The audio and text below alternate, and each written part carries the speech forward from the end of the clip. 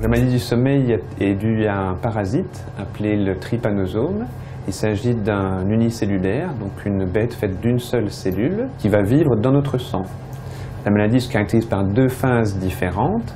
La première, lorsque le parasite est seulement dans le sang, qui provoque des pics de parasitémie, des fièvres assez marquées.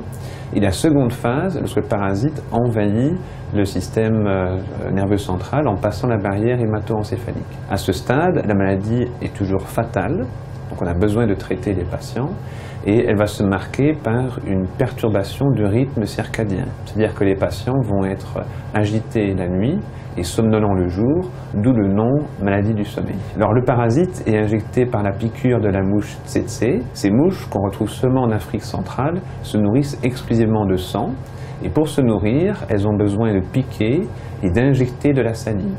Lorsque la salive contient des trypanosomes, ceux-ci ont ainsi accès au corps humain. Alors il y a eu deux grandes épidémies qui ont marqué le siècle passé, au début et la fin du XXe siècle, on atteint des pics qui ont atteint les 300 000 personnes par an. La maladie est maintenant davantage sous contrôle, mais reste très présente dans les zones rurales. En particulier, le taux d'infection peut atteindre les 15% dans de très nombreux villages et dont les chiffres qu'on a sont probablement sous-évalués. Tout le monde est égal devant la maladie, vu qu'on ne se bâtit pas d'immunité sur le long terme, donc on soit jeune, enfin enfant, adulte ou adolescent, tout le monde est concerné. À l'heure actuelle, il n'y a pas de vaccin. Et il existe différents types de médicaments qui peuvent fonctionner soit à la phase précoce, soit à la phase euh, neurologique. Et ces médicaments fonctionnent, toutefois ont des problèmes d'effets secondaires assez prononcés et même dans certains cas des problèmes de résistance. Dès lors, on a un besoin urgent de nouveaux médicaments de qualité pour combattre ce parasite. Alors le traitement est assez lourd, parce que le parasite peut se maintenir pendant de très nombreuses années dans la, la circulation avant de tuer son hôte, et donc le traitement peut s'étaler sur plusieurs semaines, avec la difficulté qu'on peut imaginer lorsqu'il s'agit d'un traitement en zone rurale où l'accès aux services médicaux est extrêmement limité. Alors nous travaillons sur deux aspects importants. Le premier concerne la recherche de nouvelles cibles thérapeutiques et nous avons identifié une structure qu'on appelle le flagelle et cette structure permet au parasite de se déplacer et de détecter son environnement.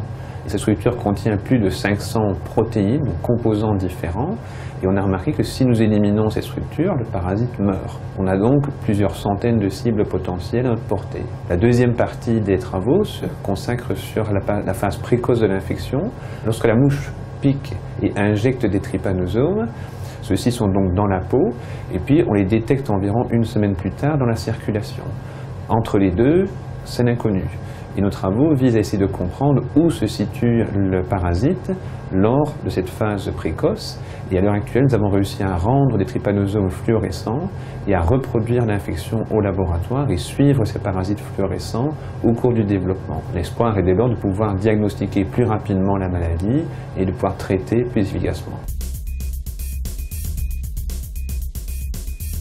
Un élément clé pour nous est la mise, sur, la mise sur point, au point des techniques d'imagerie. Vu qu'il est maintenant possible de détecter des parasites que nous avons rendus fluorescents, on peut dès lors suivre le trajet du parasite à travers la peau, par exemple, et suivre ainsi son évolution. Ces technologies sont donc euh, extrêmement sensibles, mais également non invasives, et permettent un suivi continu du euh, développement d'un pathogène chez son hôte.